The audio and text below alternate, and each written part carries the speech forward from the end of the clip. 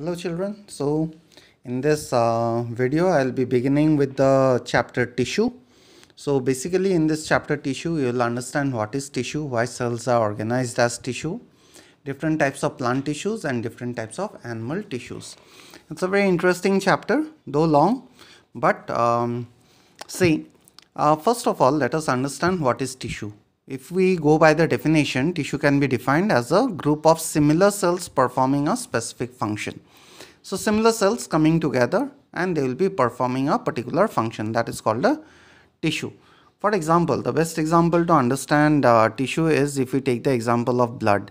Now when we take the example of blood, blood is made up of different cells like white blood cells, red blood cells and platelets and they are all in a liquid uh, medium called plasma. And why blood is regarded as a tissue? Because all these cells, similar cells, they are performing a common function that is the function of transportation. They help in transportation of different substances. So therefore blood is regarded as a tissue. So why cells needs to be arranged in a tissue? Now you see we know that in unicellular organism, uh, suppose in case of an amoeba, all the functions of obtaining nutrients, excretion, respiration, all the work are done by the single cell. Now, what happens in multicellular organisms? Multicellular organisms, like we human beings, we are made up of billions of cells. And if all the cells have to do all the functions, they will be overloaded and the functions will not take place properly.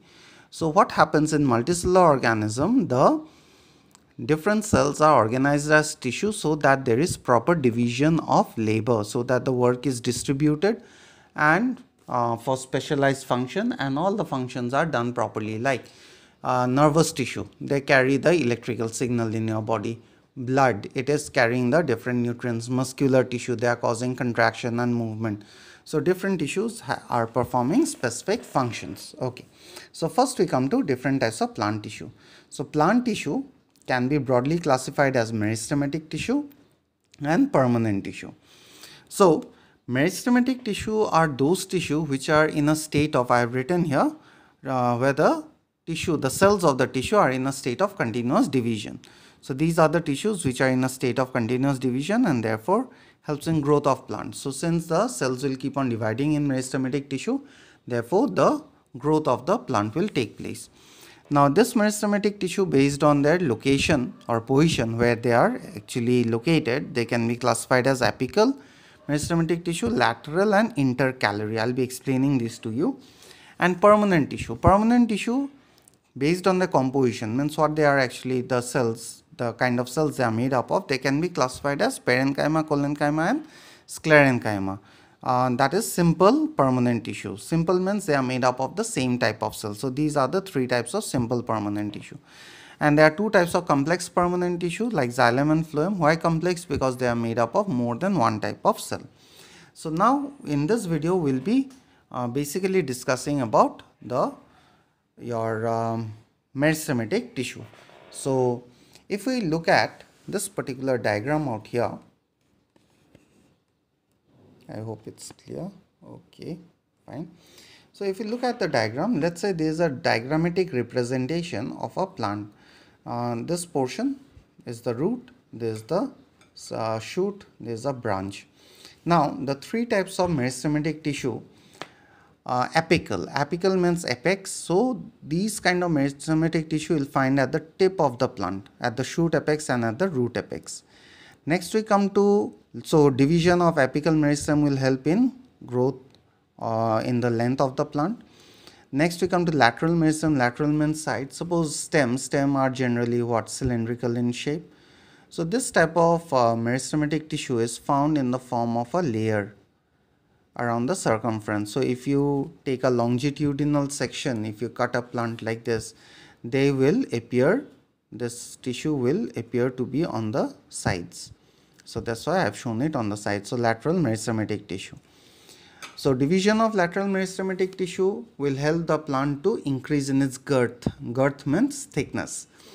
And the third type, it is called intercalary. Intercalary, now you see in plants, there are some thick portions in the stem which are called the nodes. I'll be showing you nodes. So um, intercalary meristem is found on either side of the node. So division of this intercalary meristem helps in elongation of the region between the two nodes which is called internode and it also helps in growth of axillary part which will ultimately grow into a branch. So let's have a look at a plant here. I have got a plant for y'all. So there's a by looking at the flowers we can say it belongs to the mustard family though it's a it was growing uh, in the wild whatever so you see in a typical plant, if you see the growth of the branches, now this is the main stem.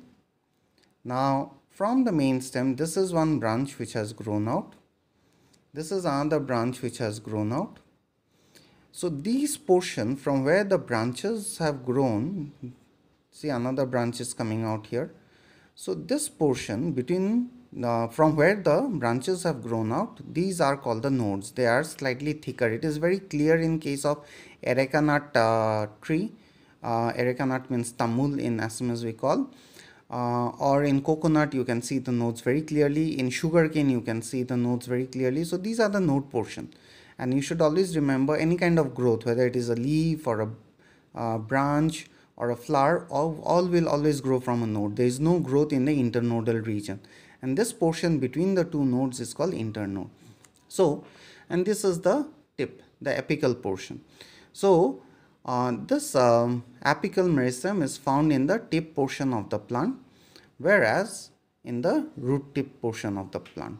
Lateral meristem will be found inside the stem on the sides and intercalary meristem, suppose there is the node, it is found on either side of the node. So, these are the three location of a typical meristematic um, you can say plant uh, meristematic tissue sorry so now the cells which will make up the meristematic tissue what are the properties of those cells let us have a look first property is that the cells have a thin wall now you should remember all the properties of the cells of meris which makes up the meristematic tissue all those properties are based on the common function that the cells are in a state of continuous division.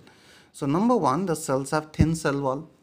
So thin cell wall because the cells are continuously dividing. If the cell walls are thick with lots of deposit, it will, it will be difficult for the cells to divide. Therefore, the cell wall is very thin.